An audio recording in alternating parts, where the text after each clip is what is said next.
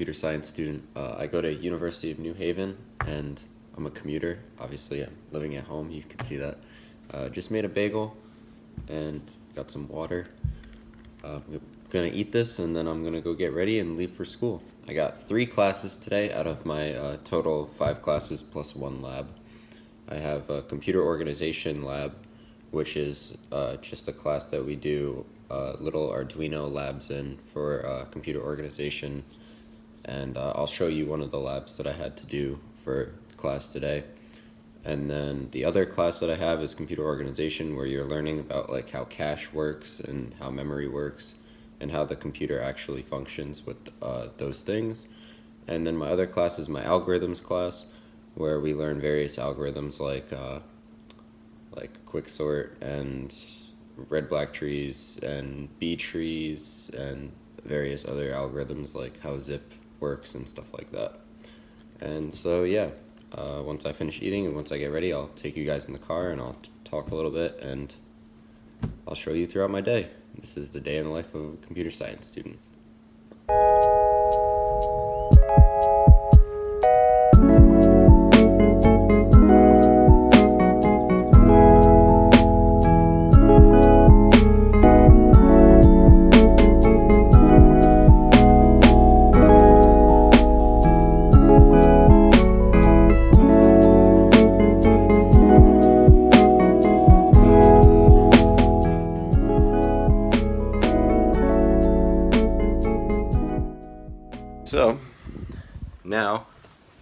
Just gonna grab a jacket because it's kind of cold out today. It's like 30 degrees. I'm gonna wear a North Face. I don't know why the lighting is so bad over there. So, excuse my old clothes from when I showered. So, I am just gonna head out now. It's about 11:40. I gotta be at class at 12:15, so I should make it on time. Uh, this is the last week of classes before finals, and it's kind of hectic with uh, projects and stuff, but I should be all right. So, time to head out. So it's currently 12 o'clock. I'm on my drive to UNH. It's about a 20 to 25 minute drive from my house. Um, I'm already like halfway there, so it's not going to be that long. I'll probably get there at 12:10, and uh, my class starts at 12:15. This is my last lab of the semester for this class, so we're probably just gonna go over uh, this lab that we just had for homework, and uh, we're gonna show it to him, and hopefully it doesn't break on the way here because I didn't take a video of it yet. But uh, I'll show you guys what it does at UNH. Uh, and then after that, we'll probably get out early, so I'm probably gonna go get food. And then after that, I'll go to my last two classes, and that's it. This is my last full week of classes, and then I start finals. So this is really like the last week for all my projects and everything. Although some of them are due on the day of the final, which is nice. I get some extra time to work on them. But yeah, I will showcase you guys UNH when I get there. God, the lighting here is awful. So I just got to UNH, 1208, two minutes early. Um, my class is right over there. Right in, you can't really see it, but there's a building over there. And uh, so yeah, I'm gonna walk into that class and I'll show you guys what my Arduino lab is supposed to do. And then I'll go through the class. Baud rate. You know, we said we're gonna do 9600. Just got out of that lab. Uh, we have one more lab to do with this where we have to use an LCD screen to display stuff. And we have to like make pictures and display those pictures and cycle through with buttons on what picture displays in the LED.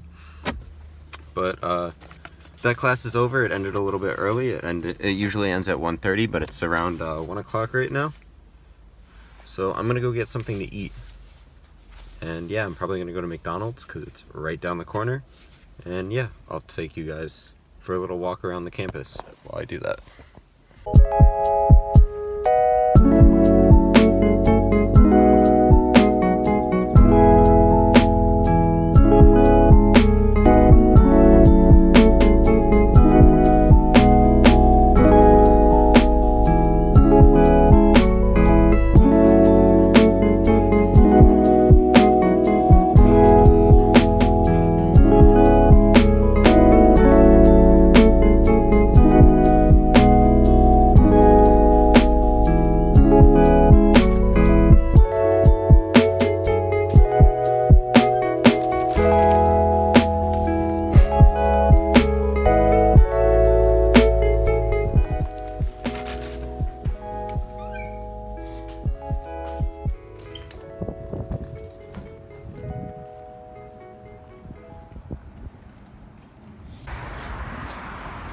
So now I'm on my way to computer organization.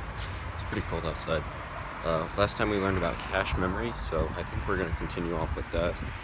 But uh, yeah, I'm just on my way walking to class. And after that, I have algorithms in the same classroom, so I'm going to stay in the same spot and I'll just show you guys a little bit of the lectures throughout there. And yeah.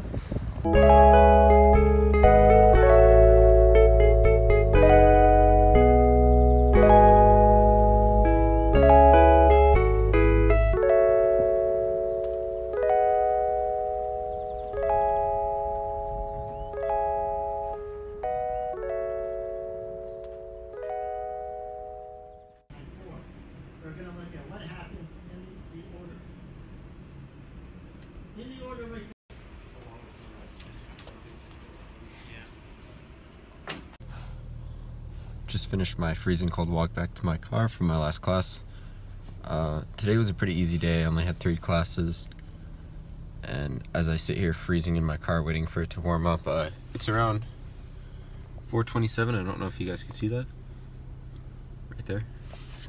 And uh, now I'm going to go home and start my homework, probably. Most likely, if I don't procrastinate. I want to start working on an essay that I have to work on for my computer ethics class, which is- just a class that we do like current event issues in on computer science topics and stuff like that. And then I'm gonna finish the lab for my class today because I guess I forgot to do one part that I had to do. And uh, they're all due at the end of the semester before the final day of the actual lecture class exam. So as long as I show it to him before then, I'll get full credit. And then I'm probably going to take that apart and then do the second lab, start that so at least I have like the hardware components done so that I could just write the program. And that should be it for my homework for today. I still have a poster and a presentation that I have to make for December 17th. So I'll probably do that tomorrow though because I don't really have to worry about it today. And yeah, that'll be the rest of my day. I'll show you guys the homework that I do and yeah, I'm gonna go home now. So it's now 6.50, almost 7 o'clock. I just finished the intro of my essay and the first paragraph. And my essay is about uh, the Takata, I think it's pronounced, airbag recall, which was this huge airbag recall that happened in a bunch of uh, different brands of vehicles. And we're specifically talking about the ones that happened in the Toyota vehicles, because that's what our main essay is on for our project. And so I was in charge of talking about that. And basically, it was this huge recall that happened because the airbags would had a potential to explode and send shrapnel through the passenger side and the driver's side. So yeah, it's it's pretty bad. And uh, right now, I'm currently working on my uh, lab, and I'm I'm pretty sure I'm almost done. I just got to work out and make sure all these cases that I made work. The code's kind of ugly, not gonna lie, but uh, yeah, once I'm finished with that, I'll show you guys. I should be done within the next like 10 minutes. Alright, so it's currently 7.12. Just finished uh, all the last parts for my lab. This is all the code for it. And so what the lab is supposed to do is if we hit upload and we open up this little uh, console here, uh, we have a joystick. You guys might not be able to see it, but there's the joystick right there. And we obviously have the LED that's so super bright that you guys can only see. And uh, basically when you move this joystick, if I were to move it down, uh, you can't really see the red LED, but there's a red LED in there. Uh, you can actually see it. And if you were to move this joystick down, it would turn off the red LED. And if you were to move it this way, it would turn off the blue LED. And if you were to move it so that it's in the bottom, like, right corner, or left corner, it would turn off all the whole LED. And it's hard for you to tell, but if I turn it up, it'll change the brightness of one of the LEDs brighter. And if I turn this to the right, all the way, it'll turn the other LED brighter. But uh, so yeah, that was my lab, and also it prints out the X and Y value of everything. So let me turn this, take this off. all right, so I'm kind of stupid, and I forgot that if I uh, turn the LED or if I unplug it, it's gonna turn off the serial monitor because there's nothing getting monitored anymore because the Arduino's not plugged in. But anyways, what the the lab was was you have a joystick, which is this little component right here, and if you were to move the joystick, uh, look at the joystick as a coordinate plane, uh, you would have your x values and you would have your y values, and the y values were set to red, and the x values were set to blue. So if I were to move in the negative x direction, that would make it so that the red or the blue LED was all the way as dark as possible, which was turning off is what I set it to. And then if it was in the middle, it was like in the middle brightness, and then if it went all the way to the left, it would turn to the leftmost brightness, or the, the highest bright, brightness. And uh, same thing would happen with the uh, red LED for the y-axis. And so if you were to put it in the bottom corner so that both uh, were the highest negative value, it would turn it off, which you guys saw. And you couldn't really see it turning brighter, but that was just because the camera was really hard to tell. And so that was the lab. And the other part, which was the serial monitor, which I was talking about, was the values for the joystick go from 0 to 1024. So 512 being the middle value, uh, which would be if the joystick was just at rest, where it stays in the middle.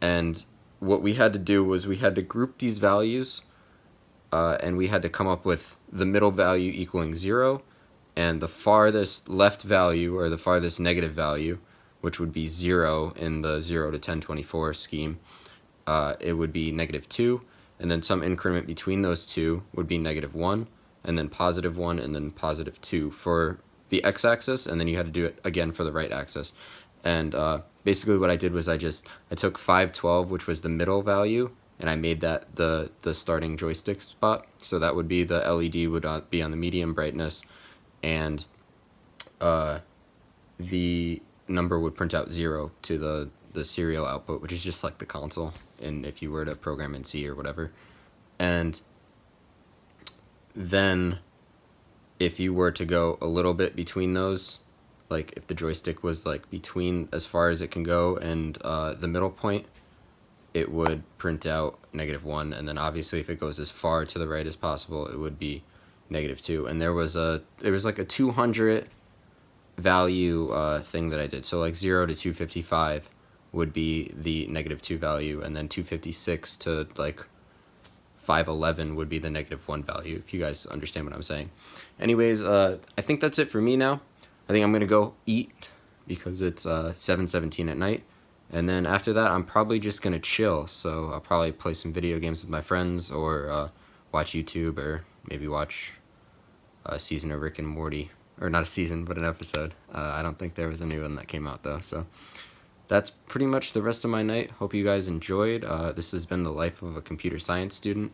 Uh, I am a commuter, so I don't really do that much on campus. It's not like I can't do a lot of things on campus. I just kind of choose not to, just because I just go there for school and then I come home, do my work, and uh, hang out with my friends that don't go to the school that I go to. And so, yeah, that's the day in my life as a computer science student at University of New Haven. Hope you guys enjoy it, and subscribe if you want. You don't have to, but I post some videos occasionally, some vlogs, and figured I might do this for fun. Uh, hope you guys enjoyed. Peace.